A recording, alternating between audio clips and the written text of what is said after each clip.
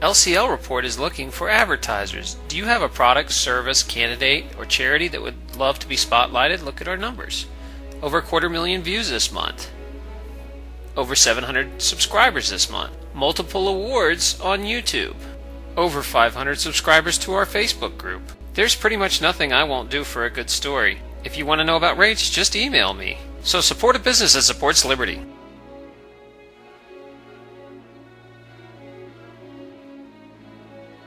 Hi, welcome to LCL Report. This is Darren Lupo reporting. Today I'm going to talk to you about the case of Sam Dodson. Sam is a reporter who's being held in jail, it's his fifth week now, for exercising a few of his constitutional rights. I'm going to let you get caught up to speed and just with a quick synopsis from Dave Ridley so you get a better idea what's going on. Dave? Uh, it just so happened that Senator John McCain happened to pick the same hotel. New Hampshire videographer Sam Dodson reporting the news in more comfortable times. But as of May 17th, the camera toting gonzo journalist remains in jail on his 35th day of a hunger strike. Dodson was arrested for refusing to turn his camera off in a court lobby. Authorities say they're still holding him because he's refused to give them his legal name. When first thrown in jail, he went on a milk and vitamin only fast. But Free Talk Live is reporting that this fast is now a water only hunger strike. It's not 100% clear when Sam intensified his in jail protest, but I'm estimating it was around May 10th.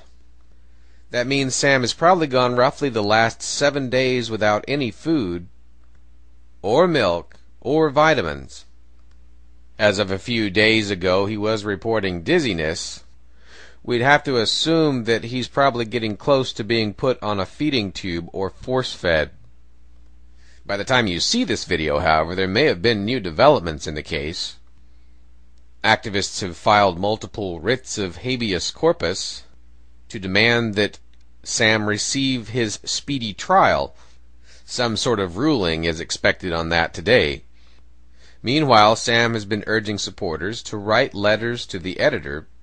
You can learn by visiting, or you can learn more by visiting freesamdodson.com.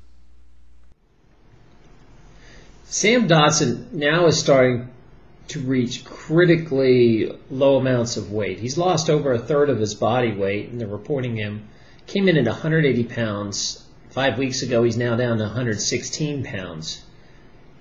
The longest fast I know of on record was um, 66 days. Bobby Sands, he was that guy back in, uh, I think it was 1980 or 81, where he was caught with a gun over in England and was thrown in jail I think he was there over five years, and he finally went on a water fast to protest another.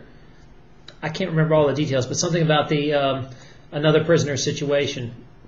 He went 66 days without food before he died in prison. So I know you can go quite a way. Uh, you can go a long time without food, but I do believe Sam, in my professional opinion, is getting critically, critically low, and he's probably doing damage to his organs by now as a doctor, you know, people forget I, I, used to be a chiropractor, and a lot of my practice was nutritional cleansing. So I consider myself to know more than most people about fasts and cleanses. They have their place, and they're, they're, they can do some miracle stuff sometimes. This kind of prolonged water fast and milk fast is a very damaging type of fast. It's okay for a week or two but it does cause a lot of problems later on to the internal organs. Uh, you can do a lot of kidney damage, liver damage, digestive issues. It basically can really wreck your nervous system. All sorts of bad things can happen. And I am very worried about Sam, but I do respect why he's doing this. I mean, think about it. If you were thrown in jail for something that you've been told your whole life, you know, this is the Constitution, you have the right to the First Amendment, you have the right to keep silent, Fifth Amendment, you're told all these things, and then when you get into the court system, the police system, none of it's true. I mean, you've been arrested for something you believe is completely in, corrupt. I don't blame him. I mean, why would you cooperate with a system that acts like that? That's so stacked against you. It makes no sense. I mean, what else is he supposed to do? All of a sudden go along with it? So I completely understand why he's doing this. I'm just worried about his health. The victims on trial should be able to decide if they want a camera or not.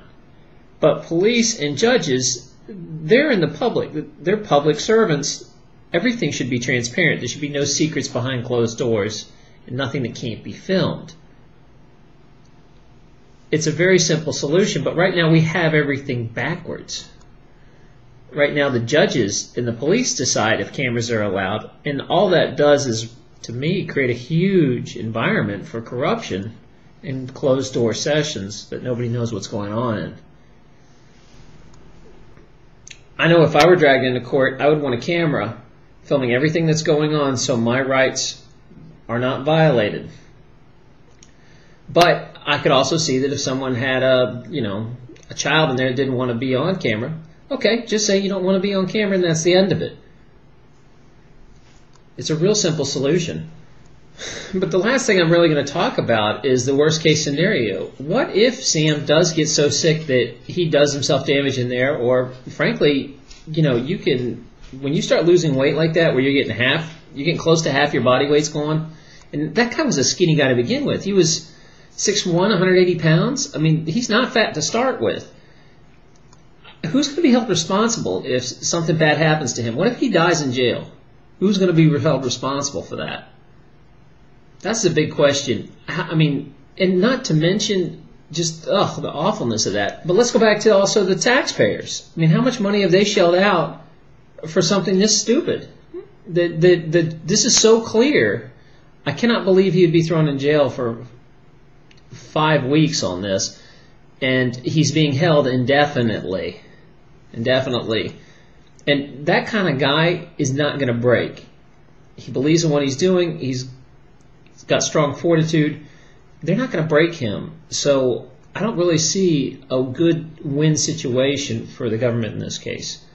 If he dies in there, it is going to be a PR nightmare, or they got to let him go, which is also going to show that would basically remove the veil of legitimacy around this.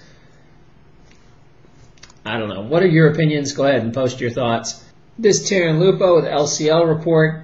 I know I'm going to go send a letter right now. If you need help uh, to send a letter to Sam, go to mailtojail.com. It's listed right there. Mailtojail.com. And send Sam a letter. He'd really appreciate it. Meanwhile, though, go make a stink in the media. This is ridiculous. It's not getting national coverage.